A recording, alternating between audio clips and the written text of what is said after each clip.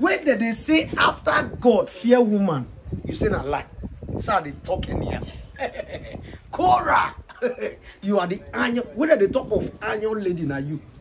If they go go iron lady now, Cora go show. My God, you get hurt. Sure.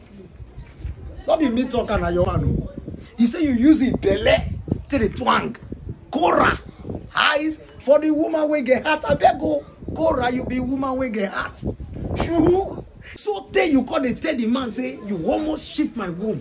The man call the answer say hope e no touch your husband pikin wey dey your belle. You say no, e no touch am. Cora. I say if they go go heart and your name go show.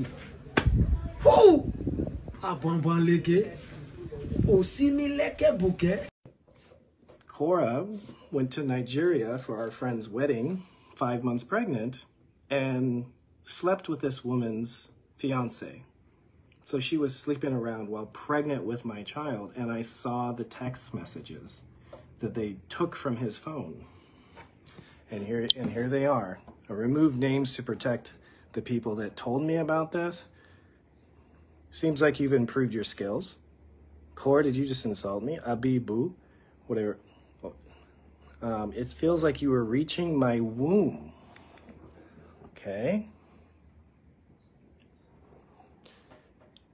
It felt like hopes I didn't tamper with Justin's unborn baby, Athena.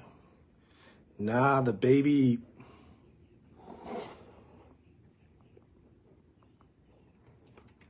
Where'd that other one go?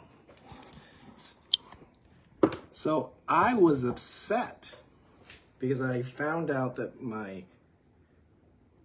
ex wife had been sleeping around while pregnant with our daughter, which is very risky business. Which, you know, like, like you get an STD or something while you're pregnant, that's a big deal.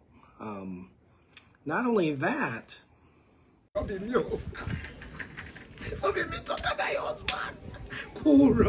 Jesus, after God. Fear woman.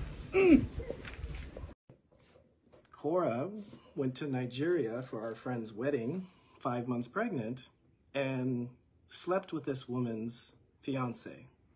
So she was sleeping around while pregnant with my child, and I saw the text messages that they took from his phone. And here and here they are.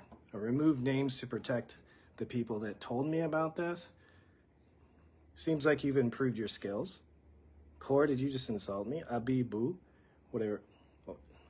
Um, it feels like you were reaching my womb. Okay.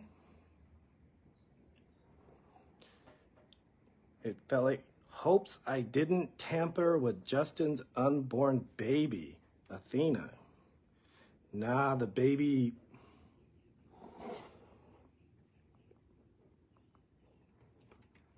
That other one go? So I was upset because I found out that my